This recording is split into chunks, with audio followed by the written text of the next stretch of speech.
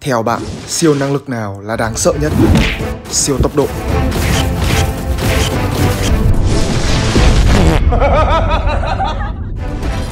Phép thuật. Siêu thể chất.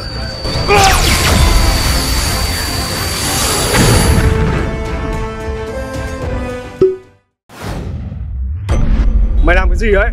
Bố mày bắt được tao ấy. Dịch chuyển tức thời Tao việc gì phải bắt mày? Thằng to xác kìa. Mày gọi ai đấy thằng lùn Bố mày gọi mày thằng ốc chó? Thay đổi kích cỡ. Tao ở đây cơ mà.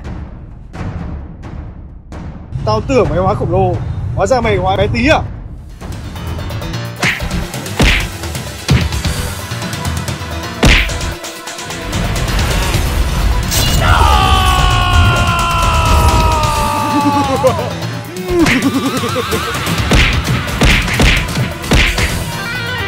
Ai hốt mà